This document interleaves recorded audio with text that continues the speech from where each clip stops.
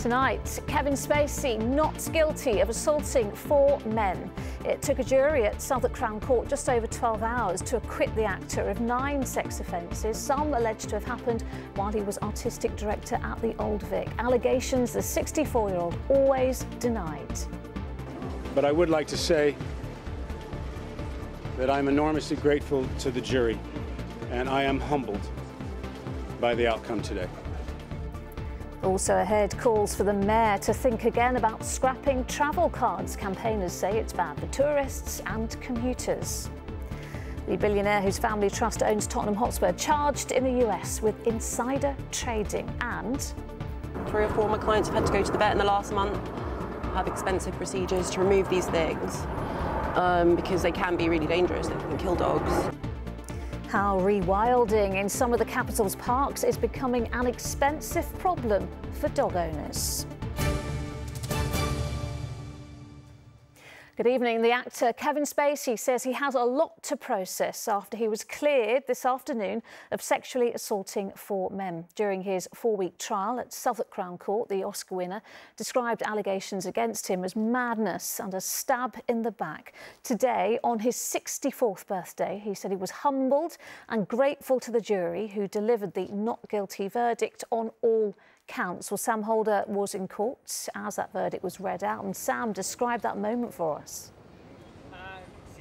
Well, Lucrezia, Kevin Spacey was clearly emotional as the verdicts were read out. Beforehand, he'd been pacing around the docks, obviously stressed, but this was exactly the result he'd been looking for. For each of the nine charges, the, the, the jury uh, read out the same verdict, not guilty each time, and there were tears in his eyes by the time they read out the final one. After he was released uh, from the dock, he thanked the jury, uh, he hugged his legal team, and at one point he even appeared to hug one of the court clerks because it will not have been lost on him today the importance of getting an innocent verdict if he was to have any chance of rebuilding his image and reviving his career. He'd promised to come to court in London to clear his name. And today, six years after allegations of sexual offences were first made public, he was cleared of all criminal charges. I imagine that many of you can understand uh, that there's a lot for me to process after what has just happened today. But I would like to say that I'm enormously grateful to the jury for having taken the time to examine all of the evidence and all of the facts carefully before they reach their decision. And I am humbled by the outcome today. The allegations were made by four men for alleged incidents between 2001 and 2013, covering much of the period when Spacey was artistic director of London's Old Vic. He'd been described in court as a sexual bully alleged to have aggressively grabbed the crotches of three men and drugged and performed a sex act on another. One incident allegedly took place at the Haymarket Theatre. I'm just an ordinary guy with nothing to lose. Spacey, who's won two Oscars, including for his role in American Beauty, was found not guilty of all charges. He told the court the accusers were after money, money, and then money as a result of allegations here and separate ones in the US, which Spacey was also cleared of. Netflix cut ties with the actor, and he was dropped from arguably his most famous role in House of Cards. Kevin Spacey testified that producers are ready and willing to work with him if he is acquitted. And uh, I would believe that that's true. He's a very popular actor and obviously extraordinarily talented. And I think now it's time for the public to embrace that and accept that that outcome happened um, and to give him his name back. As the crowds outside Southwark Crown Court show, Spacey is still very much one of the world's A-list celebrities. And he leaves tonight innocent of all allegations of sexual offences. Today is actually Kevin Spacey's 64th birthday, and this is exactly the present he would have wished for. It took the jury almost 12 and a half hours to reach their verdicts, not guilty on all nine counts. But the question now is whether Spacey will be able to rebuild his career. One of Hollywood's most iconic actors has been out in the wilderness since the allegations emerged. Will today's verdicts be enough for his own comeback story? For the studios to offer him the multi million pound roles he once was given. Sam at Southwark Crown Court, thank you. Well, more on that not guilty verdict on the ITV Evening News at 6.30. Here's a look ahead with Mary. Coming up on the programme, not guilty, the verdict in the Kevin Spacey trial. The Oscar winning actor is cleared of nine sexual offences at a court in London. We will have his reaction. Controversy around one of the UK's leading banks intensifies. The boss of NatWest quits over the reporting of Nigel Farage's finances. Rail bosses bow to passenger pressure and extend a consultation on the closure of ticket offices in England. And the new research that reveals why doing more of these is best to reduce blood pressure. Would you join me for that and more at 6.30? Next from us, the Mayor is facing growing pressure to rethink plans to scrap travel cards. The cards were introduced 40 years ago to make it cheaper to travel all around London. Kent, Surrey and Essex County Councils have written to Sadiq Khan asking him to reconsider his decision as residents face skyrocketing travel costs without them. Our political correspondent Simon Harris reports. For 40 years, families like the Ullers have relied on travel cards to enjoy a day out in London. They get them at a discount when they're included in the price of a train ticket from their local station at Ware in Hertfordshire. But this cut price travel perk could be coming to the end of the line. We use it every time we go into London because it gives us a lot of flexibility and it's so convenient just to be able to buy the ticket one time and then we're in London, we go from one place to another. We love visiting London and uh, if it gets taken away, it will make life a little bit uh, awkward to say the least. An off-peak day travel card for zones 1 to 6 costs £15.20. But as an add-on to a rail ticket, it can be as little as £7, half the price. Which means instead of Karim and his family paying £59.20, the combined rail tickets and travel cards come to £42.90. The arrival of the travel card was regarded as a revolution in ticketing. There is a cheaper way to get to work. Get a travel card. And stop throwing money down the tube. The day travel card was introduced by London Transport in 1983 to encourage more people onto the buses and tubes. But London Transport's successor, TfL, says it can no longer afford the £40 million a year it costs to subsidise the scheme. Around 15 million travel cards are used every year. Transport campaigners and business bosses warn London's economy will be hit by the fallout from the demise of the travel card. It could have quite a large impact. You may find that people don't travel into the capital as much or that people come in less and then don't spend as much in the capital. is going to have a big impact on the businesses that we represent. Hospitality, retail, cultural, it's very important that we can make it as easy as possible for uh, tourists to come to the West End. City Hall says it's been forced to look for cutbacks as part of TfL's post-pandemic funding deal with the government. I had a meeting with the rail minister very recently uh, to discuss the predicament, to say that uh, it's a government requirement that TfL find additional revenue, uh, and to ask him to work with his colleagues in government to come up with alternative proposals, and we're very ready to do so. Sadiq says that every time. It's always the government's fault. Actually, he is in charge of London. He is in charge of transport for London. It's his decision. Is it a train? 40 years ago, the London travel card was marketed as if it was from another planet. Oh, thank Don't thank me, ma'am. Thank Supercard. The one-day travel card. Today, the day travel card is no longer an alien concept, but it could soon be history. Simon Harris, ITV News, Ware. Jailed reality star Stephen Bear has been ordered to pay more than £200,000 to Georgia Harrison after he shared a sex video of the pair. It is the highest amount for a case of this kind. Bear, who starred in The Only Ways Essex and Celebrity Big Brother, was given 21 months in jail. UK billionaire Joe Lewis, whose family trust owns Tottenham Hotspur, has been charged in the US with orchestrating a brazen insider trading scheme. The 86 year old is accused of using inside information to shower gifts on his friends and lovers. Well, Kath O'Pat has been following this uh, for us and is outside uh, Tottenham today. Kath, what more do we know? Well, this is someone a lot of us don't really know, but if you're a fan of Tottenham Hotspur, he's very important. That's because he's the owner of this club right here behind me, multi-billionaire Joe Lewis. And he's a proper East Ender, born there in 1937. He made his wealth from trading foreign currency. And it's those business dealings of his which have caught the attention of US authorities.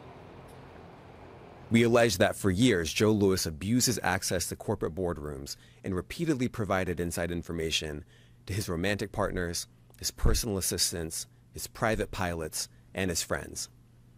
Those folks then traded on that inside information and made millions of dollars in the stock market now, it's worth noting that Joe Lewis has denied these allegations, and earlier today his lawyers put out a statement saying that the US government has made an egregious error in judgment in charging Mr. Lewis, an 86-year-old man of impeccable integrity and prodigious accomplishments. They added that Mr. Lewis had come to the US voluntarily to answer the ill-conceived charges which would be defended vigorously in court. Now, the question everyone is asking is what happens to his club? And the short answer right now is absolutely nothing. Here's sports journalist Kieran Maguire.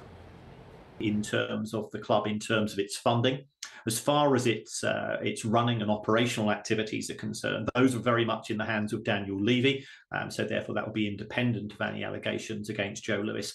Um, and, and, by transferring uh, ownership to to the trust, effectively, Joe Lewis is is now at arm's length in terms of his uh, responsibilities towards Spurs. So, where do we go from here? Well, Joe Lewis is due in court sometime later today. And as for his club, they've got their next match on the 5th of August. All right, Kath, thank you. Some other news now, and a 33-year-old man who was detained after mugging a 92-year-old woman has escaped from a mental health facility in Hackney. Sanchez Edwards was on escorted leave on Sunday when he was reported missing. He was last seen wearing a navy puffer jacket, grey tracksuit trousers and white trainers.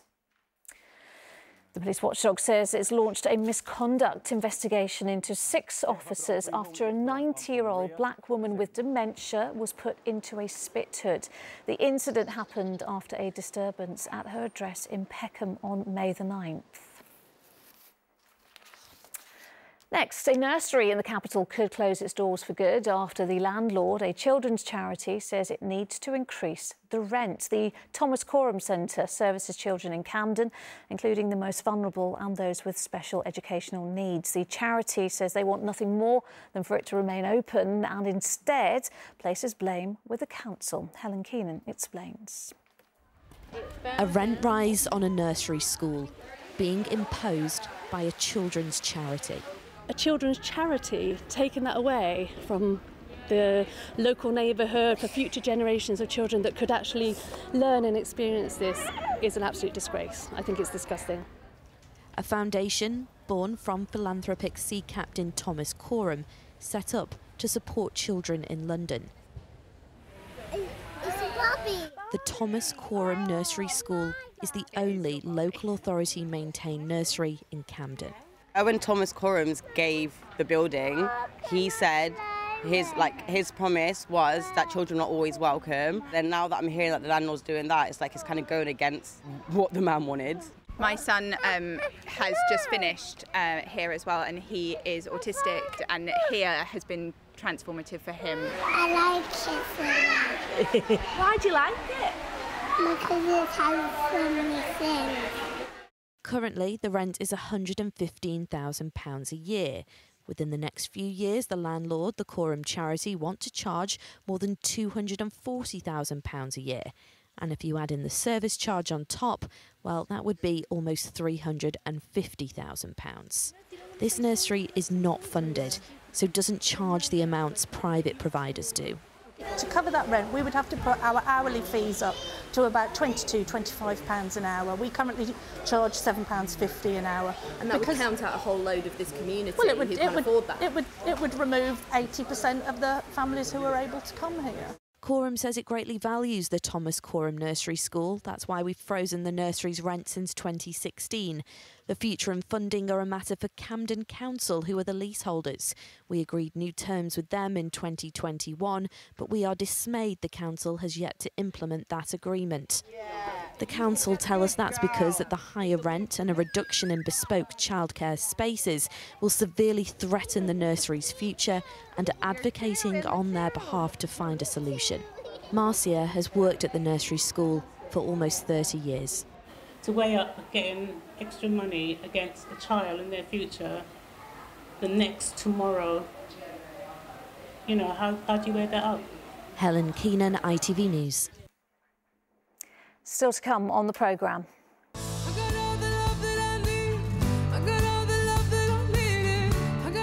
How Love Island changed the path for this London singer.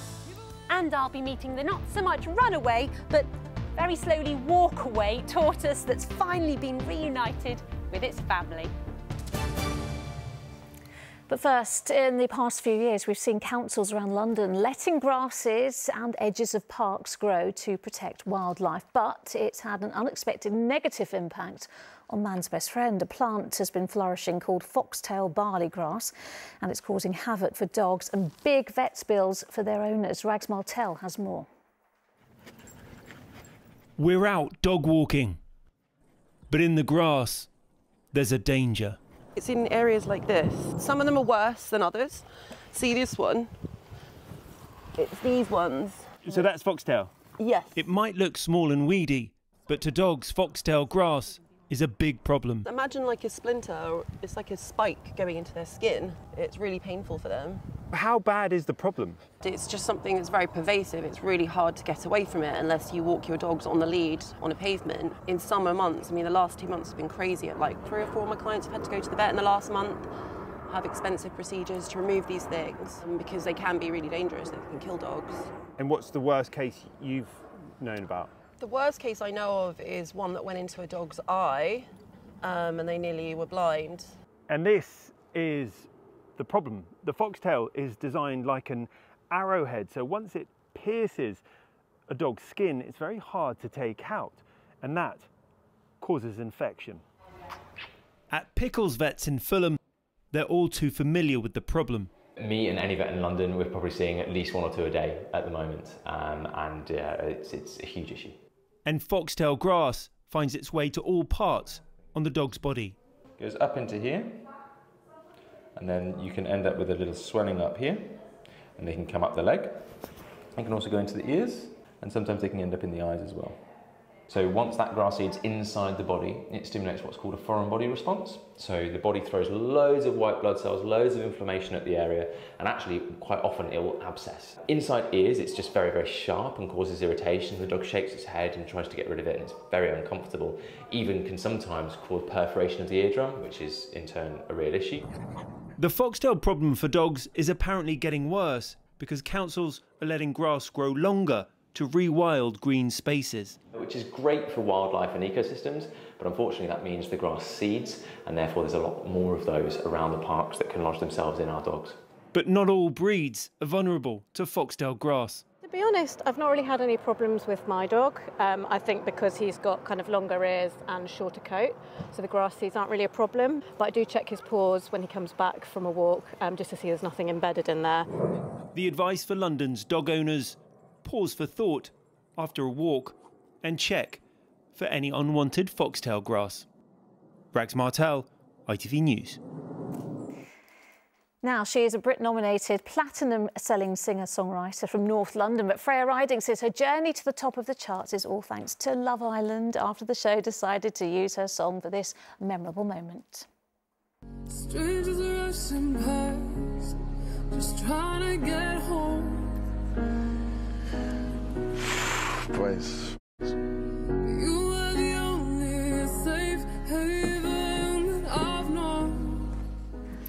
everything that she's I'm very pleased to say that Freya joins me now. Freya, oh, that seemed like a very um, emotional moment there in Love Island. It was. But it really changed things for you, didn't it, having your song play out there? It did, because I'm, I'm born and raised in London. I've Yeah. been playing open mic nights around London, like with my dad helping me lift my keyboard since I was like 11 years old. So to have a song that I wrote called Lost Without You used on that moment in Love Island, Mm. it did actually change everything for me. So that was in 2018, and it's just been a wild ride Yeah. since then. And that's, it's such a big show, though, isn't it? Are you a fan?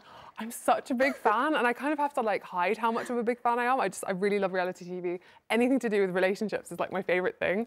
That's kind of why I got into music in the first place. So yeah, big Well, fan. let's talk a little bit more about your music then. Now, Yeah. you went to the Brit School. I did go to you? the Brit School, But You talked about you doing um, little independent sessions with your dad when you were 11. Yeah. Wow, that is very I was young. tall, so people didn't know. But there's a great like open mic night scene in London, and Yeah, I'm just yeah, so yeah. appreciative of growing up in that kind of environment. There yeah. definitely is. And the second album, Blood Orange, came out this year, didn't Came it? April this year, We've got a little, second album. We've got a track called Weekends. Let, Let's just take a little listen now.